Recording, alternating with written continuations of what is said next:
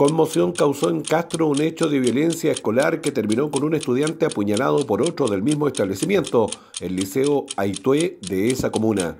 El incidente ocurrió afuera del recinto educativo y el estudiante herido logró trasladarse hasta el hospital de la comuna, donde quedó internado fuera de riesgo vital. En tanto, el Ministerio Público inició una investigación por el suceso. Detectivos de la Brigada Investigadora de Robos Puerto Montt detuvieron durante este jueves a dos sujetos de 27 y 34 años por una serie de robos con intimidación y o violencia bajo la modalidad de abordazos, hechos ocurridos durante los meses de febrero y marzo en Puerto Montt.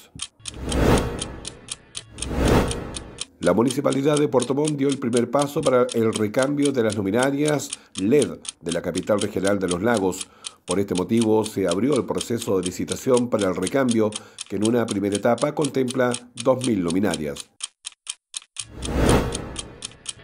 La Municipalidad de Puerto Montt impulsa un acuerdo entre Salmón Chile y los locatarios de Angelmó para lograr que solo trabajen y comercialicen salmón certificado.